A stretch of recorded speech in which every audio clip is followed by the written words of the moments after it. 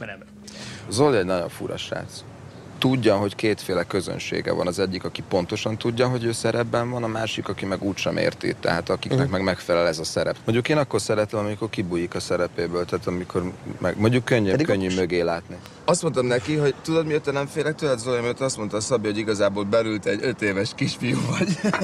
És azóta így nézem. Jó, de bazd meg, de nem lehet úgy horrorfilmet nézni, hogy, lá, hogy oda képzeled a stábot, bazd meg. Én